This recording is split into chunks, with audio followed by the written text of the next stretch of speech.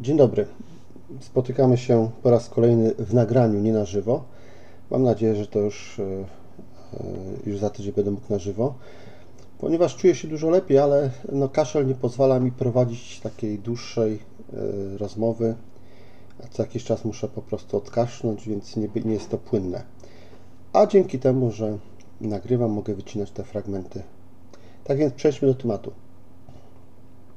Y, bo wiem, że dużo osób na niego czeka. Y, dotyczy wojny między Elohim a Anunnaki. Y, żeby to zrozumieć w ogóle tę sytuację, to musimy troszeczkę sobie nakreślić jeszcze pewien zarys historyczny. Zaczniemy od początku, ułożymy sobie jak naprawdę to było, żebyśmy wiedzieli, poznali prawdę po prostu, a nie dali się zwodzić jakimś bajkom.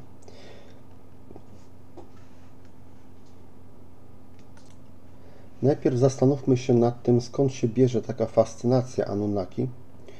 W rzeczywistości nie ma tam nic fajnego, e, ale trzeba być uczciwym, trzeba dostrzec, mm, że walka między Anunnaki a Elohim toczy się cały czas i do dzisiaj Anunnaki stosuje pewne chwyty, pewne metody, żeby pozyskać sobie zwolenników i ci zwolennicy e, po prostu atakują e, Biblię. Robią to świadomie czy nieświadomie, trudno powiedzieć.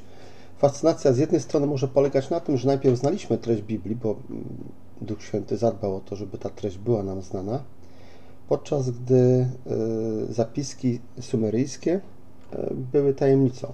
No, kiedy ją odkryto jakiś czas temu, to wtedy mogły się wydawać, jakby były świeże, nowe, coś nowego wnoszące do, do dyskusji w rzeczywistości niczego nowego nie wnoszą. To są po prostu zbiór bajek, e, która nie ma wartości historycznej. E, jedynie w paru punktach potwierdza, znaczy jest oparta na, pewien, na pewnych głównych punktach. No było stworzenie, był potop, więc to się wszystko pojawia. Natomiast e, dużo też można wywnioskować pośrednio z historii tych Anunnaki, jakie między nimi się rozgrywały ale w rzeczywistości tak, to, co jest prawdą, to my mamy w Biblii. I, i tak naprawdę wszystko, e, co powinniśmy wiedzieć, wiemy i naprawdę wiemy dużo.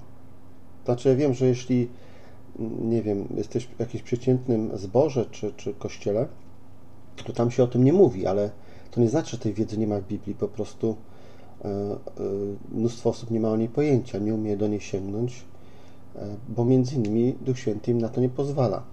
E, tymczasem Chrystus powiedział wyraźnie, że e, będziemy, e, nadchodzą takie czasy, kiedy ludzie będą czcić Boga duchem i prawdą.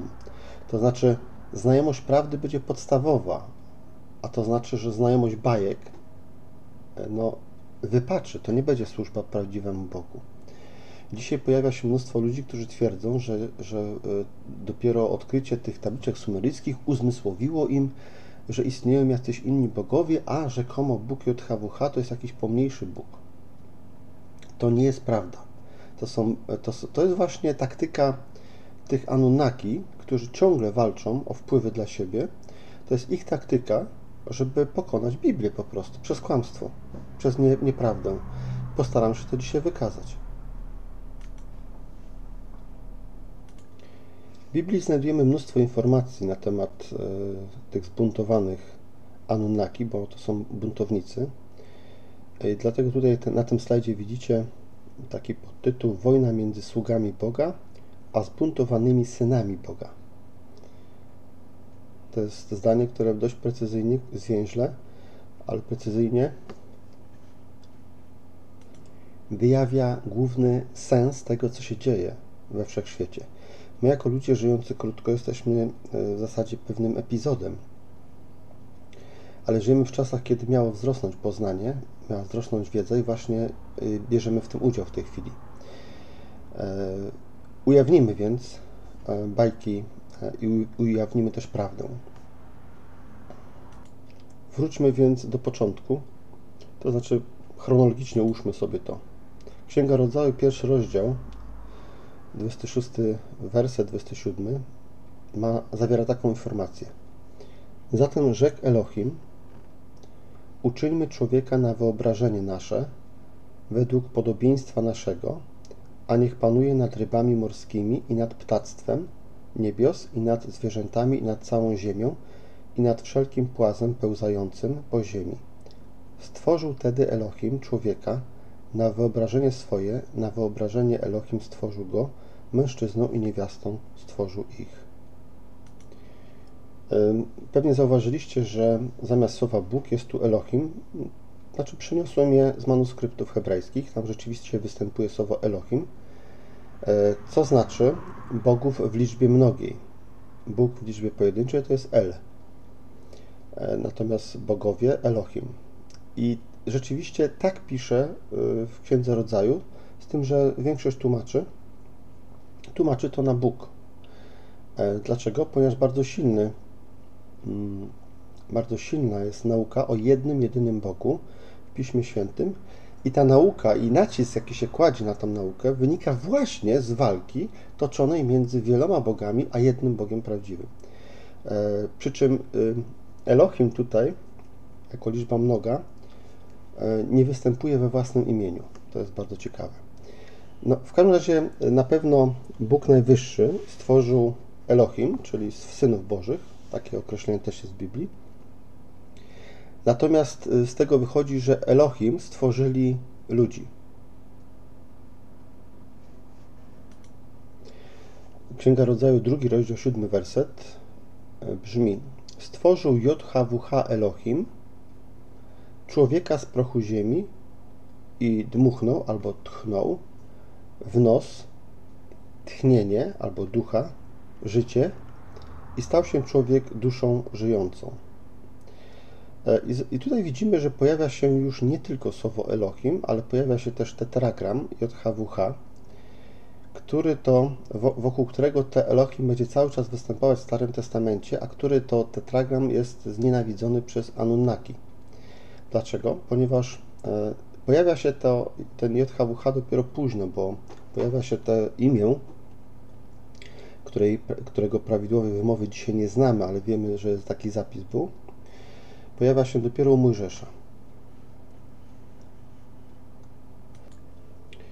Tutaj mam e, fragment Księgi Wyjścia, szósty rozdział, trzeci werset, który przetłumaczyłem dosłownie.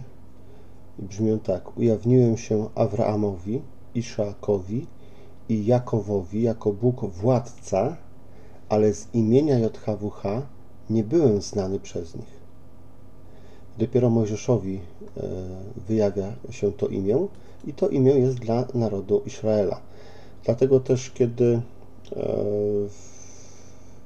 przychodzi spełnienie się i zawarcie nowego przymierza i zostaje zerwane też przymierze z Izraelem, e, wtedy apostołowie uczą tego. To jest znajdziemy w Adzie Apostolskich 4.12 uczą, że w innym imieniu, że w imieniu Chrystusa jest tylko i wyłącznie zbawienie. On jest kamieniem odrzuconym przez was budujących, tym, który stał się głowicą węgła i nie ma w nikim innym zbawienia, ani też nie dano ludziom pod niebem żadnego innego imienia, którym musimy być zbawieni. Tak więc imię e, zapisywane E, JHWH było imieniem tymczasowym, wokół którego skupiła się grupa Elohim, e, która nie służyła sam, sami sobie, swojej sławie. O to właśnie wyróżnia ich od Anunnaki.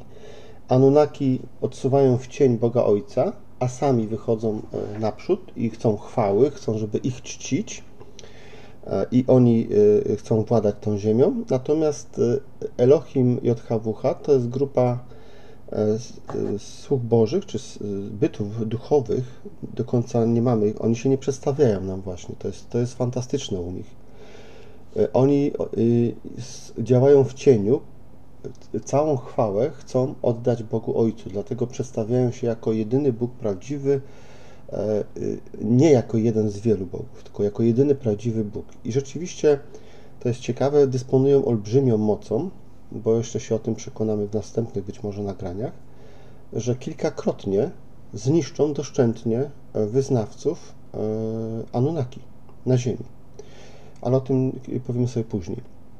Teraz chciałem tylko jeszcze Wam potwierdzić, że rzeczywiście e, oni byli, znaczy nie chcieli ujawniać swojego imienia, dlatego nie znacie imion żadnych aniołów w, w Biblii. Dlaczego?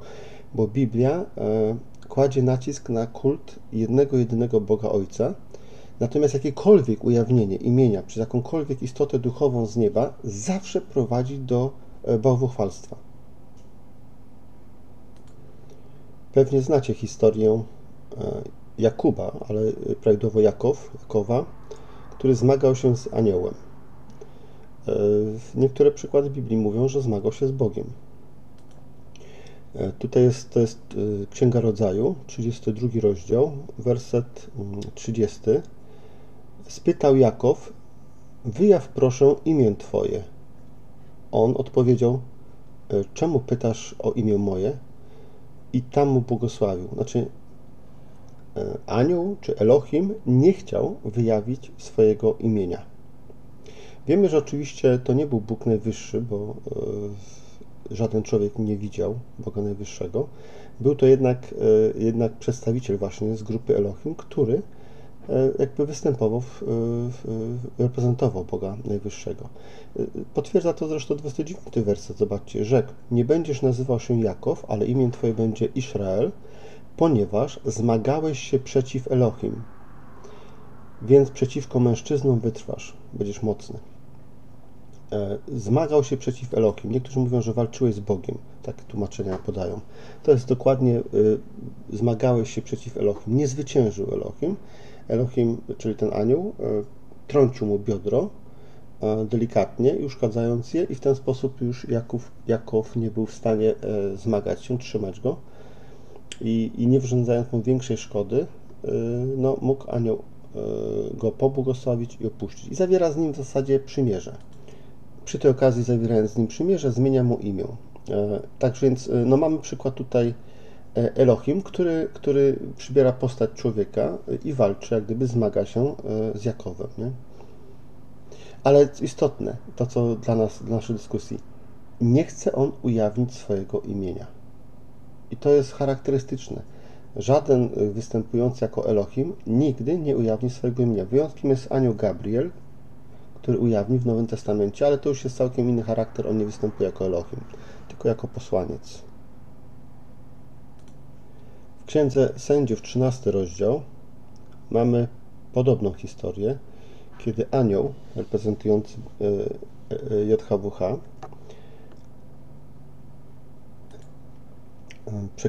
pojawia się z misją na ziemi, przekazuje informację o narodzinach Samsona, wtedy również jest spytany o imię. I 18 werset. Posłaniec JHWH, dlaczego pytasz mnie o imię? Ono jest nadzwyczajną tajemnicą. Wziął wtedy Manuę, koźną, no, złożył ofiarę. Ofiara została przyjęta, ale dalej czytamy 22. E, Na pewno umrzemy, ponieważ widzieliśmy jednego z Elohim. Widzieliśmy Elohim, też e, tak dosłowny przykład.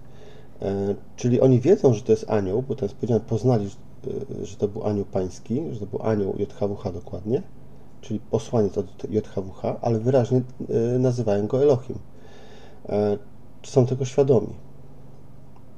Ale no, to, co dla nas istotne jest, bo to są tak, takich, chcę Wam pokazać, że informacji o Elohim jest bardzo, mnóstwo jest w Biblii. Słowo Elohim występuje dużo częściej niż słowo Bóg w liczbie pojedynczej.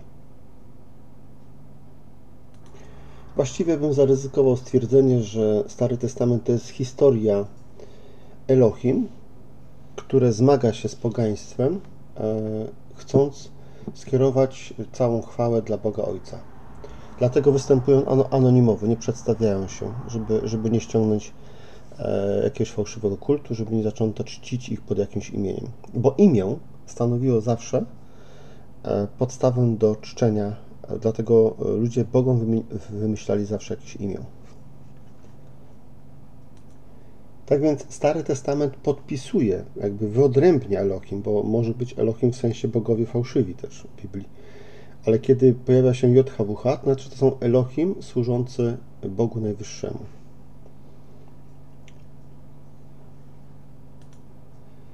E, Kolejny rozdział, y, trzeci, mm, Księgi Rodzaju, 22-23 werset, mówią Powiedział JHWH Elohim Oto Adam stał się tak jak jeden z nas. Zna dobro i zło. I teraz oby nie wyciągnął ręki swojej i nie zgarnął z drzewa życia i jadłby i żył dłużej. Wypuścił go JHWH bogowie, czyli Elohim, z ogrodu Eden, aby uprawiał ziemię, z której był wzięty. W pewnym sensie można powiedzieć, że człowiek został wypuszczony na wolność. Dlaczego? No bo doszło do buntu, doszło do grzechu. Człowiek wypowiedział posłuszeństwo Bogu, w związku z czym został pozbawiony ochrony. Wcześniej można by powiedzieć, że był troszeczkę e, w uprzywilejowanej pozycji, ponieważ aniołowie jakby mu usługiwali, troszczyli się o niego. Teraz miał sam troszczyć się o swoje życie. E, no pytanie brzmi, czy, czy taki, tacy ludzie wypuszczeni na wolność zostaną przez kogoś zagospodarowani, czy też będą sobie żyli po swojemu? E, to się za chwilę dowiemy. Natomiast e, Elohim JHWH ogłasza rozwiązanie tego problemu, którym było odejście ludzi od Boga. I czytamy w Księdze Rodzaju 3 rozdział 15 werset. E, to są słowa skierowane do szatana, do węża wtedy. E, Nieprzyjaźń ustanowię między wami, między tobą i niewiastą, i między nasieniem twoim i między nasieniem jej.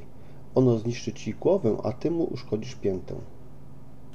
To jest zapowiedź e, czegoś w przyszłości. Znaczy, Elohim JHWH ma już rozwiązanie tego problemu, jaki nastąpił, ale ono nastąpi z dużym opóźnieniem w czasie. No, dlaczego takie opóźnienie jest, to można dyskutować. Wiemy jednak, że wszystko dzieje się według planu pewnego i my żyjemy w czymś, co nazywa się eonem.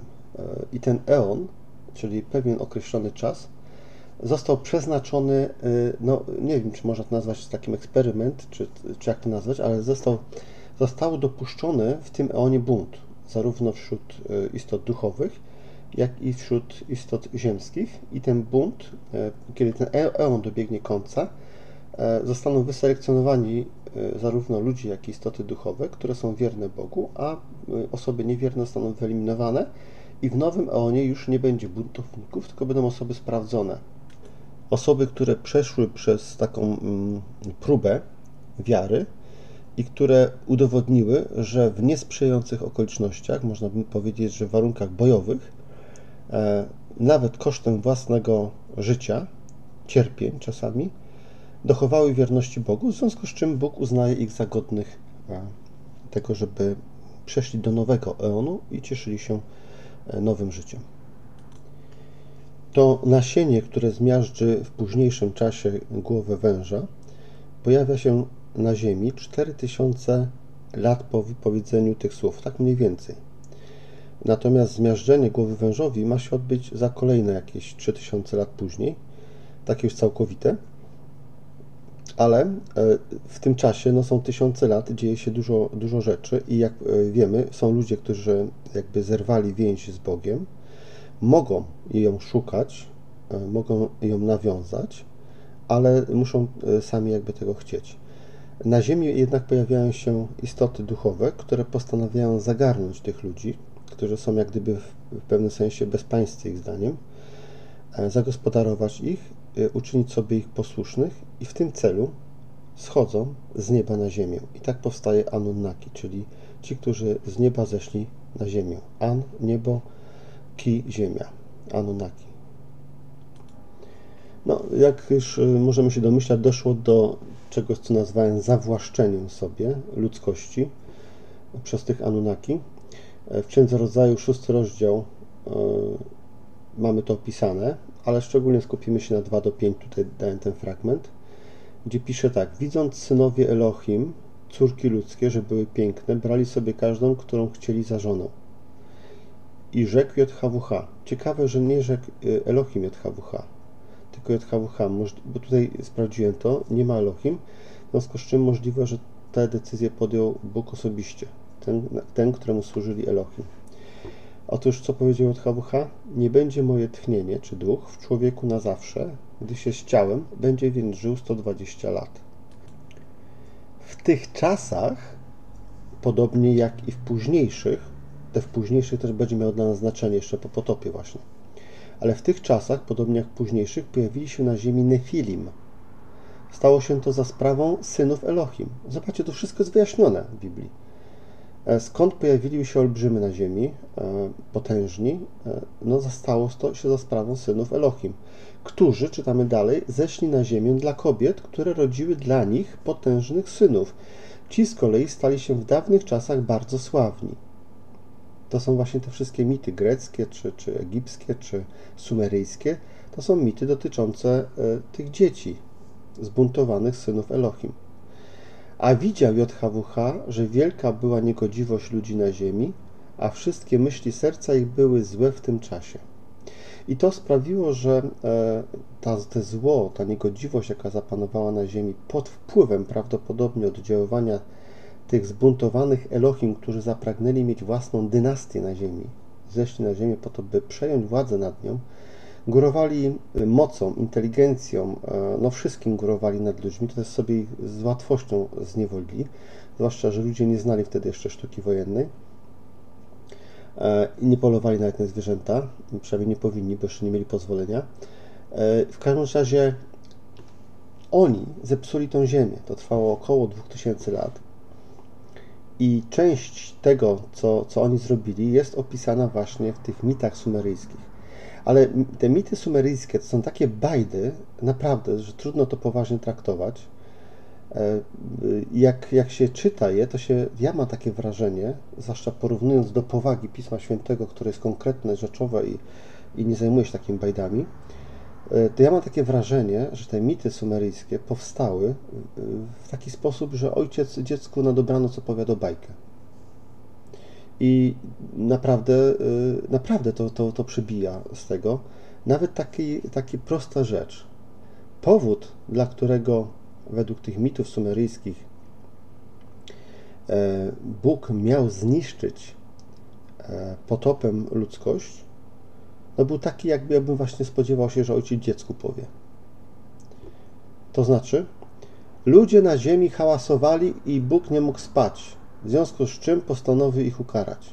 To tak jak ojciec dziecku mówi, tak? Widzisz, synku? Musisz się zachowywać, musisz być grzeczny, musisz być cicho, jak tatu śpi. Bo to nawet Bogom przeszkadza, jak hałasujemy. E, no, no, tego typu historyjki są. E, natomiast e, nie potępiają Sumerowie zła, jakie było, bo im w tym, źle ży w tym złu żyją. To jest ich chleb powszedni. To jest to, w czym oni się czują, jak no, są, są u siebie w domu. Nie? Natomiast, natomiast y, y, y, Bóg potępia to. Potępia zło, jakie jest na ziemi, nie chce tego zła tolerować, w związku z czym dochodzi do wniosku, że oczyści ziemię z tego zła. I to jest powód, dla którego jest potop. Potop to, było, to była wielka klęska Anunnaki, czyli tych, którzy zeszli z nieba na ziemię założyli własne, własne królestwo. Wszystko to e, popłynęło. E, donosi nam także o tym, co się działo, co się stało z tymi buntownikami, którzy e, zeszli na ziemię, czyli z Anunnaki. To nawet Nowy Testament nam o tym mówi, to żadna tajemnica była dla pierwszych sług bożych. W liście Judy, szósty werset, czytamy Anunnaki tu są nazwani posłami, czyli aniołami. Taką funkcję mieli jako istoty duchowe. Nie są tu już nazywani synami bożymi, e, tylko posłami. Znaczy w moim tłumaczeniu są posłowie. Mm, posłów także, którzy nie zachowali swojej początkowej pozycji, ale pozostawili własne mieszkanie, uwięził na sąd wielkiego dnia więzami niekończącymi się w ciemnościach ich trzyma a drugi list Piotra, drugi rozdział, czwarty i piąty werset, podobne słowa zawierają. Skoro bowiem Bóg posłów, czyli aniołów, nie oszczędził, gdy zgrzeszyli, lecz rzuciwszy w więzach w gęste mroki Tartaru, wydał jako zachowanych na sąd. Także pierwszego świata nie oszczędził, ale jako ósmego nowego głosiciela sprawiedliwości zachował od potopu zesłanego na świat bezbożnych. Kiedy widzimy, że Bóg toleruje dzisiejszy świat, w którym jest dużo zła, to możemy się zastanowić, jak bardzo musiał być okrutny ten świat e, wcześniejszy, stworzony przez Anunnaki, skoro Bóg stwierdził, że, że takie zło nie może istnieć i postawił temu tamę. E, pojawia się nowy, jakby nowy etap, nowa ziemia w pewnym sensie, po, po wielkim resecie. E, takich resetów jest e, więcej. Cała ziemia miała jeden, to był potop i jeszcze jeden będzie, który nazywamy Armagedonem. A potem będzie już całkowity reset, gdy skończy się ten eon, calutki eon, czyli 7000 lat. Ale były też mniejsze resety, mm, jak Sodoma i Gomora miała, czy też Sumerowie też mieli jeszcze następny reset, ponieważ zaraz po, mm, po potopie ludzie trzymali się razem. E, Bóg, e, zaprowadzając nowy porządek, e, postanowił podzielić narody między, Biblia mówi, że między synów Elohim. A więc dalej, bo to jest relacja Mojżesza, dalej Mojżesz używa tego samego określenia, którego już potem apostowie nie będą używali, będą mówili po prostu o aniołach albo o archontach bo takie sformułowanie w Nowym Testamencie też się pojawia, czyli naczelnych władcach. Ale jeszcze w Księdze Powtórzonego Prawa znajdujemy taki werset, który brzmi: Kiedy El, czyli Bóg, i tutaj jest dodany jeszcze najwyższy dla wyróżnienia, rozgraniczał narody, rozdzielał synów człowieczych, wtedy ludom granice wytyczał, według liczby synów Elohim. Tak więc y, dalej jest informacja, że JHWH też dostał e, jeden, e, jeden e, czyli Elohim i JHWH, dostali jeden naród, ale oni sobie go dopiero musieli wyprowadzić z Semitów.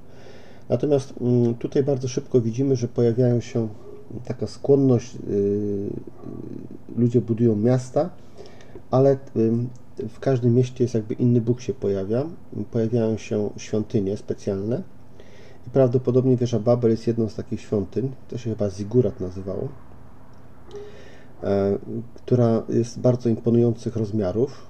E, potrafili przed potopem budować wielkie, wielkie budowle, ale i też e, chcieli wrócić do tego zwyczaju. To też, to też właśnie podjęli takie decyzje i wtedy Bóg postanawia, że im przeszkodzi. Dlaczego? Dlatego, że powtarza się historia. Oni nawet wrócili do, do tych samych miejscowości.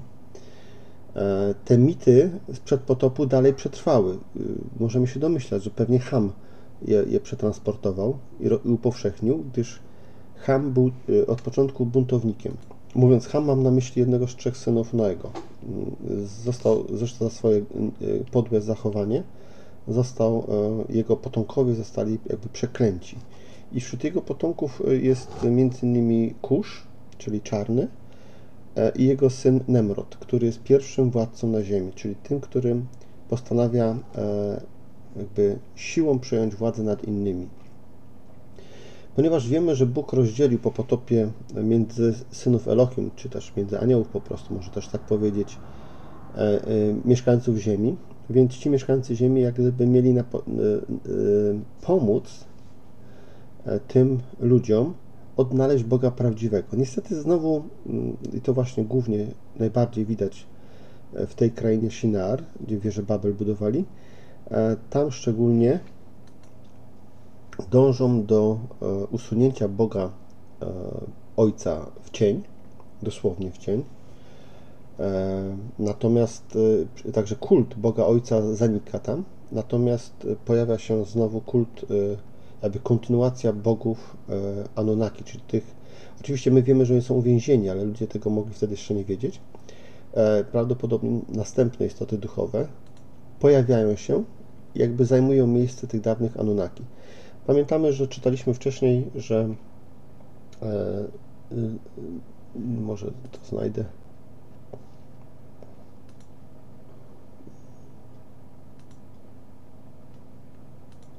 Chodzi o to, że w tamtych czasach, e, podobnie jak e, później, pojawili się na ziemi Nefilim. Stało się to za sprawą synów Elohim. W tamtych czasach, czyli przed potopem, a także później, czyli możemy się domyśleć, że po potopie e, nastąpił powrót do tego tego samego procederu, znaczy po raz kolejny, tylko że już następne istoty duchowe, prawdopodobnie pragnęły znowu zaprowadzić e, swoje rządy na ziemi, przejąć władzę i w związku z czym e, uruchomiły po raz kolejny swoje rody. E, o, przepraszam. Z mojego śledztwa tak wynikało, że prawdopodobnie, prawdopodobnie, to nie jest pewne, ale było, było to cztery istoty duchowe, które zeszły po potopie, ponieważ e, e, olbrzymy, które są opisane w Starym Testamencie, a są opisane, e, miały wspólnego przodka, którego zdaje się, że imię znaczyło cztery. Czyli można się domyślać, że czterech, czterech zbuntowanych kolejnych Elohim odważyło się powtórzyć ten sam numer, czyli zaprowadzić swój ród. Coś im poszło nie tak. Przede wszystkim ludzie zaczęli polować na zwierzęta. E, w nowym porządku Bóg też wprowadził pierwsze zasady prawne, e, w którym pozwolił karać morderców śmiercią. Pozwolił też jeść zwierzęta i tam parę zmian wprowadził. E, w każdym razie zrobiło się, Biblia opisuje tę historię tak nieciekawie, że rzeczywiście pojawiły się rody olbrzymów po raz kolejny, ale tym razem mm, JHWH Elohim e, na różne sposoby walczyli z nimi e, po trochu. Czasami, e, czasami buntowali miejscowych ludzi, którzy odważyli się, już nie byli tacy posłuszni i walczyli z tymi olbrzymami, a czasami napuszczał po prostu rój szerszeni na tych olbrzymów, żeby ich wygnać na przykład z ziemi, która z góry była przewidziana, że będzie ziemią dla narodu wybranego a która to ziemia, e, ponieważ była ogłoszona, że to będzie dla narodu wybranego, więc jakimś dziwnym trafem bardzo chętnie osiadlali się tam właśnie rody olbrzymów, jak gdyby chcąc e, opanować te terytorium i uniemożliwić im potem e, przejęcie prawowitemu właścicielowi, czyli, czyli Izraelowi tej ziemi. Zło bardzo szybko rozpowszechnia się na ziemi. Z pewnością ludzie sami siebie by tak szybko go nie rozpowszechnili, zwłaszcza bałwochwalstwa, gdyby nie fakt, że właśnie mm, prawdopodobnie po raz kolejny e, istoty duchowe zadziałały i zaczęły sobie werbować e, służbę na ziemi. I dlatego można powiedzieć, że po potopie Anunnaki działają dalej. E, w ty, ty, tym rejonie są zmieszane różne narody, oprócz Puszytów między innymi, którzy prawdopodobnie stanowili duży trzon e, tych e, Sumerów, gdyż nazywanych czarnogłowymi. Są tam też Semici, którzy ostatecznie ich pokonują, ale do Semitów należy też Abraham, który potem jest Abrahamem i którego Bóg postanawia wyprowadzić z Ur, a więc z centrum tego bałwochwalstwa. Z jednej strony wyzwolić go spod władzy tamtych synów Elohim zbuntowanych, którzy sami zaczęli odbierać władzę, a z drugiej strony, jak się okazuje, się dowiadujemy o tym być może później, e, chroni to Abrama czy Awrama e, przed kolejną zagładą, jaką Elohim szykuje dla e, tamtego rejonu, dla tamtych Anunnaki, można powiedzieć. Kiedy dochodzi do zniszczenia Sodomy i Gomory, a więc za czasów Abrama, Abrahama, e, również dochodzi do zniszczenia właśnie miast sumeryjskich. I tu jest dużo doniesień e, już niebiblijnych, bo Biblia się jakby w ogóle nie interesuje tym, co się dzieje z tymi narodami, co nie zmienia faktu, że e, Elohim jak najbardziej interesuje się i, i po prostu nie dopuszcza do dalszej ekspansji, żeby się nie powtórzyła sytuacja sprzed potopu, to eliminuje zawczasu tamtą cywilizację, która powstała po potopie.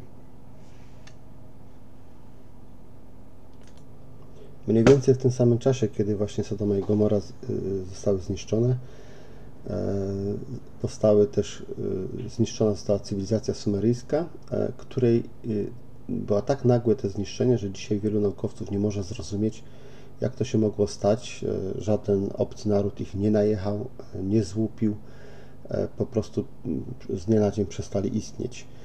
Zachowały się jednak lamentacje Sumerów, na ten temat, w których skarżą się, że po prostu bogowie ich opuścili, uciekli, kiedy zbliżała się czarna chmura śmiertelna chmura, która sprawiała, że ludzie się dusili i umierali. Oczywiście Sumerowie tłumaczyli to sobie po swojemu. Y, I tak na przykład można znaleźć tak, taką lamentację, że An i En Lil, Enki i Ninhursag, to są ich bogowie, zdecydowali o losie obalić boskie moce Sumeru, zablokować sprzyjające panowanie, zniszczyć miasto, zniszczyć dom, zniszczyć bydło. Przy czym An e, był postrzegany jako Bóg Najwyższy właśnie, ojciec, Bóg Ojciec wszystkich innych, którego w zasadzie tam w ogóle nie czczono. Natomiast En Lil i Enki to byli uważani za y, najważniejszych synów bożych. Miasto za miastem zostały zniszczone, w tym także został zniszczony Ur, z którego wcześniej Bóg wyprowadził Abrama, czy Awrama. E, to też jest dla nas kolejne przypomnienie, musi nam się to kojarzyć e, z, z, z wezwaniem, jakie dzisiaj jest do nas skierowane, byśmy opuścili Babilon Wielki, byśmy nie mieli udziału w jej plagach. E, no tu jest właśnie taki przykład, chociaż Biblia tego nie pisała, to dziwo zachowało się to, że po prostu te miasta, które oddały się bałwochwalstwu, po prostu zostały w taki sposób zniszczone, E, nagle, e, bez litości i nikt nie był w stanie, ich bogowie nie byli w stanie im pomóc. Był to kolejny reset, e, taki, to była, to była kolejna bitwa Anunnaki z Elohim, JHWH prawdopodobnie, w której po prostu Anunnaki przegrywają po raz kolejny. Czy to, ich, czy to sprawiło, że oni przestali walczyć? Nie, oni zmieniali ciągle taktyki. Kiedy zniszczono te miasta sumeryjskie, oni przenieśli swoje, te wierzenia, te same wierzenia przynieśli do Niniwy, do, do Babilonu, stworzono w ogóle Babilon od nowa jakby. Te wierzenia przyniosły się także do Egiptu i przyniosły się także potem do Grecji. W zasadzie widać bardzo wiele podobieństw w tych wierzeniach, ale we wszystkich tych wierzeniach Bóg Ojciec, ten pierwszy, który stworzył wszystkich innych, tych zbuntowanych synów, bo w tych wierzeniach też synowie są zbuntowani, co jest ciekawe E, we wszystkich tych wierzeniach Bóg, e, Ojciec jest e, marginalizowany i, nie ma w zasadzie kultu Jego. Jest tylko kult Jego zbuntowanych synów. W pewnym sensie to się pokrywa właśnie z doniesieniami biblijnymi, aczkolwiek oczywiście tych mitów nie traktujemy jako źródło naszej wiedzy, tylko jako taką ciekawostkę uzupełniającą, właściwie potwierdzającą z grubsza że to, co jest w Biblii, jest po prostu prawdziwe, że zawiera prawdziwe informacje w pełni wartościowe. Y, źródła pozabiblijne są po prostu y, wzbogacone o bajki, pododawane takie tak zwane te mity właśnie, które y, przyjemnie ludzie słuchali, lubili je słuchać, bo ludzie lubią generalnie słuchać różnych opowieści, bajki. Tak jak dzisiaj lubią oglądać filmy i ekscytować się tymi filmami, tak wtedy lubiano słuchać tych opowieści. I te opowieści stanowiły pewną siłę, można powiedzieć, nawet tych e, fałszywych wierzeń bo uatrakcyjniały e, te wierzenia. Podczas gdy Biblia przekazywała suche fakty, a wiele, o wielu rzeczach nawet nie wspominała. Akurat o zniszczeniu tych ur nie wspomniała, że to, to mógł być jeden z powodów, dla których Bóg kazał na przykład Abra, Abramowi opuścić to miasto, bo to miasto było skazane po prostu na zagładę. Nie była to zagłada, która by dotknęła całą ziemię, tak jak potop, niemniej jednak tamte rejony zniszczyła. No i w zasadzie e, wychodzi na to, że Abraham e, uciekł aż po granicę tej zagłady, no bo, no bo, e, no bo w zasadzie był naocznym prawie że świadkiem zagłady Sodomy i Gomory, a więc ta zagłada była na większą skalę wtedy zrobiona. To była zagłada tych fałszywych bożków. Prawdopodobnie to już zniechęciło ostatecznie do tego, żeby Anunnaki przychodzili w postaci ludzkiej i zakładali swoje rody. Były jeszcze rody olbrzymów, zostały, przetrwały jeszcze król, król Dawid, jeszcze nie będąc Dawidem, nie, znaczy nie będąc królem, walczył chociażby z Goliatem, jednym z ostatnich, ale już były takie niedobitki naprawdę. To się, to się nie przyjęło, to się nie sprawdziło.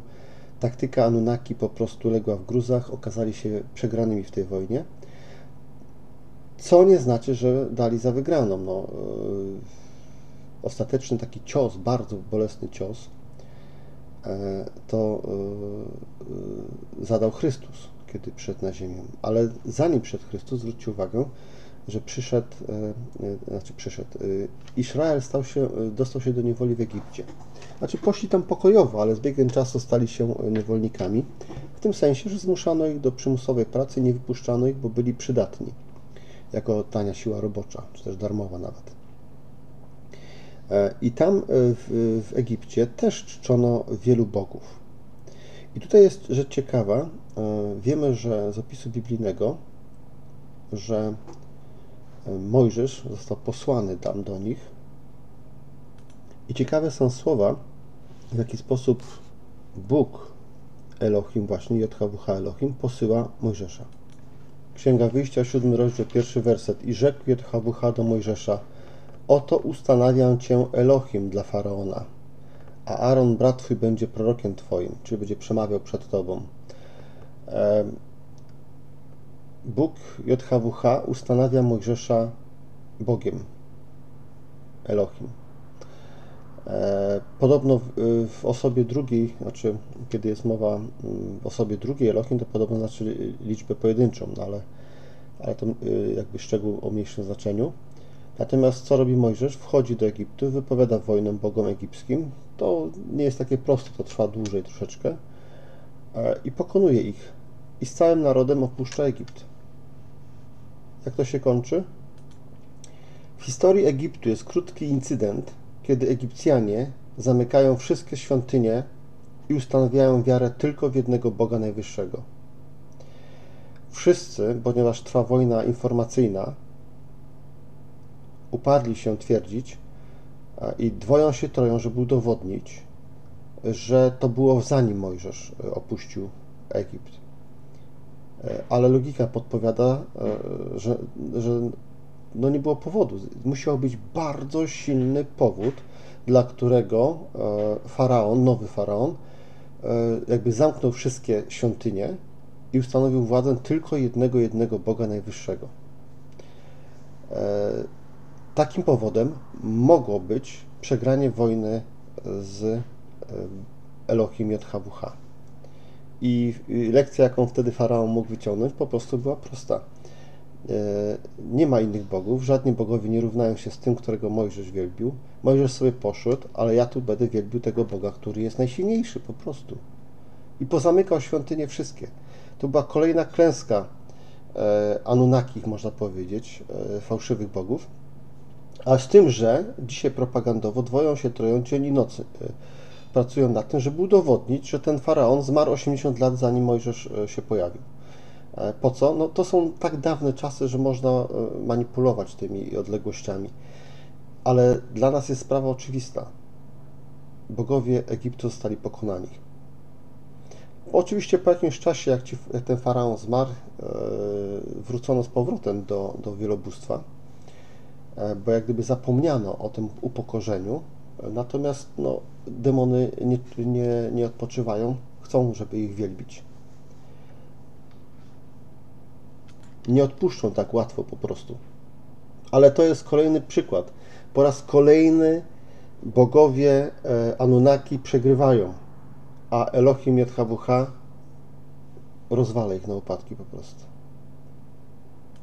Jak wiemy później, mm, no niestety e, tak wychodzi na to, że Egipcjanie wyciągnęli lepszą e, lekcję z tego, natomiast sami Izraelici, którzy opuścili Egipt, ciągle mieli skłonność do wracania do pogaństwa i ciągle gdzieś po kryjomu tam wielbili e, te fałszywe bożki, ciągali te swoje bożki, refajmy te inne po, po, po, po pustyni. I co też owocowało tym, o czym mówiłem już w poprzednich tematach, że e, no, Mojżesz ustanowił w taki sposób swoje prawo, że w zasadzie e, e, zabronił składania, zabronił jeść w ogóle tego, co składali na ofiarę często w Egipcie, natomiast nakazał składać na ofiarę te zwierzęta, które były święte w Egipcie. Czyli część prawa powstała po prostu po to, żeby przeciwdziałać wpływowi pogaństwa w narodzie wybranym. Tymczasem naród pogański e, nie miał z tym problemu, ale to dzięki jakby interwencji jednego e, króla, jednego faraona, bo gdy zabrakło e, tego umysłu, to następni wrócili tak jak wszyscy do tego, co jest, ja bym to nazwał taką łatwą przyjemną pogaństwem, bo takim wzbogaconym fajnymi opowieściami. Kolejna potężna klęska bogów e, fałszywych, tych zbuntowanych Elohim, czyli których nazywamy tutaj dla ułatwienia Anunnaki.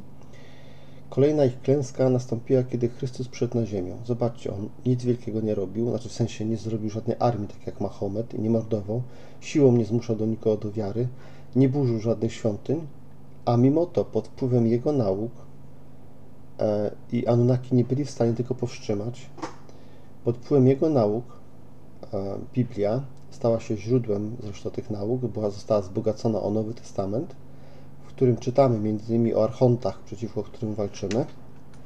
Po e, śmierci Chrystusa, po tym jak apostołowie, jego uczniowie rozpowszechniali jego nauki, zamknięto praktycznie wszystkie świątynie pogańskie, prędzej czy później.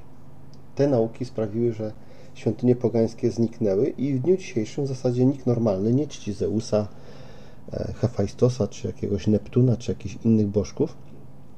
To wszystko Chrystus po raz kolejny pokonał z Kretesem. I to się nie potrafi odrodzić. O, oczywiście Chrystus był świadom tego, że, y, że te demony, te archonci już, bo takie określenie mamy w Nowym Testamencie, przypuszczą atak i że y, przejmą, wręcz nawet wiedział, że przejmą władzę nad jego uczniami. To też zapowiadał, że nie każdy, kto będzie w niego wierzył, będzie jego uczniem prawdziwym. Nie każdy zastąpi zbawienia jednak. Jak to pogodzić? No, zaczęto odchodzić od prawdy, zaczęto wracać do pogaństwa. Takim najbardziej widocznym powrotem do pogaństwa jest oczywiście przede wszystkim najpierw wiara w Trójcę, to była jedna z pierwszych rzeczy, których nie było w Nowym Testamencie ani w Starym Testamencie, a, a Trójce się pojawiają w różnych bóstwach starożytnych.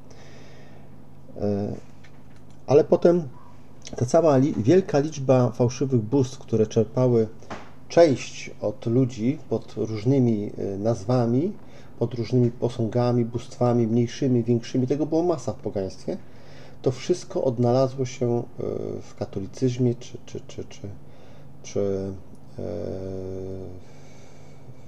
innych religiach chrześcijańskich, które zaczęły czcić świętych. Święty, święci, do których się zaczęto modlić, tak jak się modlono kiedyś do bożków, no, zajęli miejsce takich bogów pomniejszych. Stworzono trójcę oczywiście, stworzono kult kobiety, e, do której zaczęto się modlić. To wszystko było odrodzeniem się pogaństwa, w nowej formie, to znaczy e, nie, nie szło zwalczyć tych nauk, więc e, przejęto te nauki Chrystusa, zniekształcono je i, i, i wsadzono w zasadzie kult demonizmu cały w tym. Sam Chrystus w religii chrześcijańskiej ma wiele imion, co, jest, co było nie do pomyślenia w prawdziwym wielbieniu, żeby Boga Izraela nazywano wieloma imionami. Znaczy można było mieć wiele nazw typu atrybuty, sprawiedliwy, cudowny, wszechwładny, ale to nie były imiona. Imię, imię zawsze charakteryzowało, było jedno dla wszystkich narodów i tak samo też właśnie, e, jak czytaliśmy dzisiaj w Dzieje Apostolskich 4.12, tylko jedno imię dano ludziom pod niebem, w którym można być zbawionym, natomiast odstępcze chrześcijaństwo wymyśliło sobie tych imion mnóstwo, zniekształcając przy tej okazji e, właśnie imię Chrystusa i w ten sposób tak jak czczono wcześniej Boga Ojca, czasami czczono e, pod niewłaściwymi nazwami, fałszywymi nazwami. Egipcjanie to robili, Sumerowie to robili, Babilończycy też to robili. Ale to nie było wielbienie prawdziwego Boga. E, tak samo, tak, tak samo e, teraz wielbienie Chrystusa pod fałszywymi imionami nie jest wielbieniem prawdziwego Chrystusa. To jest inny Chrystus, a inny Chrystus to jest antychryst. W pierwszym wieku wystarczyło, że zmieniono e, wiarę co do Chrystusa. Na przykład twierdzono, że nie przyszedł w ciele, tylko w duchu. I już e, apostoł Jan nazywał taką naukę, że to jest nauka o antychryście. Mimo, że jeszcze imię było prawdziwe. Dlaczego? Bo mieliśmy czcić Boga w duchu i w prawdzie. To znaczy, że mieliśmy trzymać się prawdy, a duch miał potwierdzić, że, że, że właśnie my się trzymamy tej prawdy i miał potwierdzić też naszą wiarę.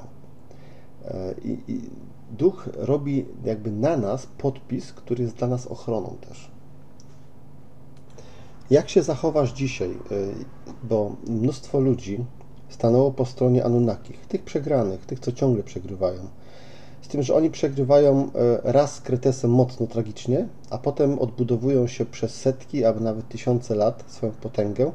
I w tym czasie wydaje im się, że wszystko im się udaje. W tej chwili też jesteśmy w takiej sytuacji, że, że, te, że ci fałszywi, mm, zbuntowani synowie Boży, e, jak gdyby mają władzę nad ziemią, ich słudzy mają władzę nad ziemią również, są bogaci na ziemi, są możnowładcami, potężnymi, e, mają wpływ na wszystkich władców ziemi, narzucają im swoją wolę, ale to, tak jak wcześniej, jest do pewnego momentu, do momentu, w którym wyznaczona jest ich likwidacja po prostu, najzwyczajniej w świecie likwidacja. I jak tak, jak żeśmy się uczyli z potopu, czy z zniszczenia Sodomu i Gomory, czy, czy Sumerów, czy z klęski, jaką ponieśli bogowie Egiptu, tak też powinniśmy uczyć się dzisiaj.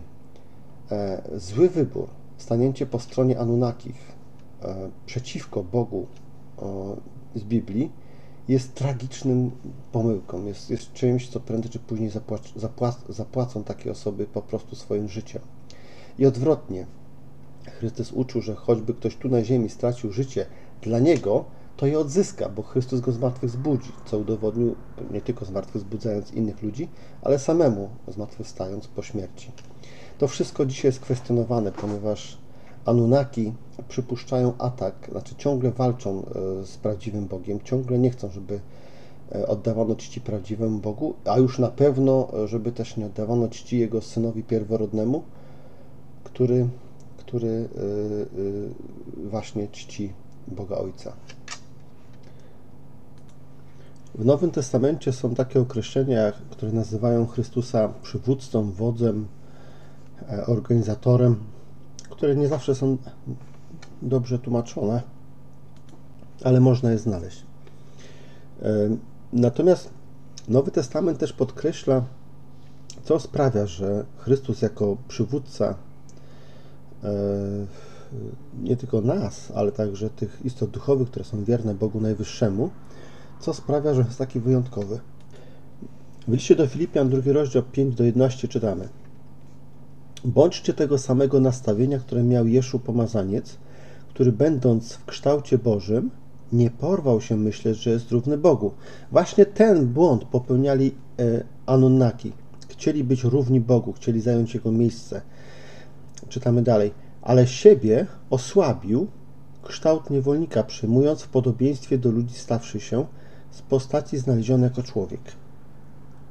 Poniżył siebie samego, będąc posłusznym aż do śmierci, śmierci zaś krzyżowej. Dlatego też Bóg, mówimy tu Bogu Najwyższym, nader go wywyższył i darował mu imię, które jest nad wszystkie imię, aby na imię Jeszu wszelkie kolano zgięło się – niebiańskich i ziemskich i podziemnych, a wszelki język, aby wyznawał, że Jeszu Pomazaniec jest Panem ku chwale Boga Ojca. Żaden z Anunnaki nie miał takiej postawy. Każdy chciał e, dla siebie. Żaden się nie poświęcił, żaden nie okazał najmniejszej pokory i nie służył Bogu Najwyższemu. A Chrystus to wszystko zrobił. Dlatego też Księga Objawienia, ostatnia księga biblijna, mówi, że o Chrystusie godzien jesteś wziąć księgę i jej pieczęcie otworzyć, bo zostałeś zabity i nabyłeś Bogu krwią Twoją ludzi z każdego pokolenia, języka, ludu i narodu i uczyniłeś ich Bogu naszemu królestwem i kapłanami, a będą królować na ziemi. Wcześniejsi Anunnaki, którzy dostali władzę nad ludźmi, dostali ich w posiadanie, e, odcięli ludzi od Boga Najwyższego sami zbierając chwałę. Natomiast Chrystus odwrotnie. Chrystus przywrócił Bogu Najwyższemu ludzi, e, wyselekcjonował z ludzi tych, którzy są wierni, sprawdził ich, przetestował i prowadzi ich teraz do życia bez końca, do nowego eonu. I w tej chwili jesteśmy jeszcze w takim etapie, że rekrutujemy nowe osoby do tego nowego życia. Każdy, kto dzisiaj żyje, jeśli stanie zdecydowanie po stronie Chrystusa i Boga Ojca, może e, pokonać archontów, e, nie sam oczywiście, ale, ale dzięki Bogu Ojcu i dzięki Chrystusowi, może ich pokonać i stać się zwycięzcą w przyszłym świecie. Może przejść z tego eonu, który jest skazany na zagładę, do nowego, w którym, w którym już będzie, nikt nawet nie będzie wspominał tego, co się dzieje dzisiaj, bo będzie całkiem nowe życie. Dzisiaj jest tego, do tego szansa, okazja. Trzeba po prostu tylko stanąć po właściwej stronie. Nie zrób więc błędu, nie stań po stronie Anunnakich. Oni ciągle się odradzają. Oni się nawet odrodzą jeszcze po tysiącletnich rządach Chrystusa. Znaczy konkretnie Biblia z góry zapowiada, że szatan zostanie wtedy wypuszczony i on znowu zwiedzie ludzi. No ale to będzie błąd tych ludzi. Wszyscy mamy dzisiaj okazję stanąć po właściwej stronie. Nie brakuje nam informacji, mamy ich dużo. Tylko żebyśmy nie dali się oszukać, bo trwa niestety wojna w tej chwili propagandowa. Ale przyjdzie taki moment, Biblia to opisuje, 19 rozdział Księgi Objawienia, że przyjdzie wojna także e, fizyczna. Wszyscy ludzie, którzy stoją po stronie Anunnakich, tak ogólnie mówiąc, będą musieli zginąć po prostu. Wcześniej jeszcze Biblia opisuje, że e, również niebo zostanie oczyszczone e, z buntowników, którzy zostaną po prostu z niego wypędzeni przez archonta o imieniu Michał. Nazwany jest archontem aniołów, czyli archanioł Michał. E, wypowie wojnę szatanowi i jego aniołom i ich po prostu stamtąd wypędzi. Natomiast potem zostanie oczyszczona ziemia. I w końcu spełni się modlitwa, którą nauczył się nas modlić Pan nasz Jeszu w której prosimy przyjdź królestwo Twoje i bądź wola Twoja i w niebie i na ziemi.